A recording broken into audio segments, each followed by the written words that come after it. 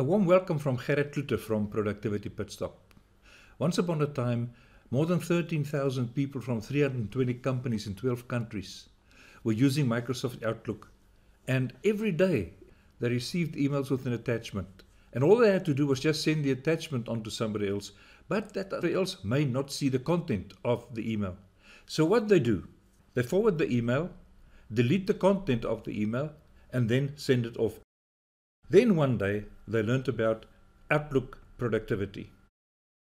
When they came to their senses, they now just take the attachment, drag and drop it onto the email icon, and voila! A new email opens, the attachment is there, and the subject of the email is the same as the title of the document.